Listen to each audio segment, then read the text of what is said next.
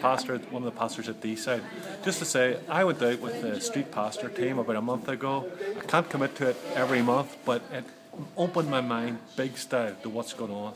And I just encourage other church leaders, even you can't commit to it regularly, go out for one night with one of the teams. You'll be a blessing to them, you'll be blessed yourself, and you'll be challenged. And it'll just motivate you to pray into what's going on. So go for it. I enjoyed it. Challenged by it, but go for it. Robert, just, was there one thing that you took from the evening that you hadn't thought about or seen uh, before? Desperation is the word that comes to mind. Desperation in the people that we encountered. I just felt a lot of folk out there to enjoy themselves, but in their heart, desperate people, and street pastors were bringing something of the hope of Christ to them.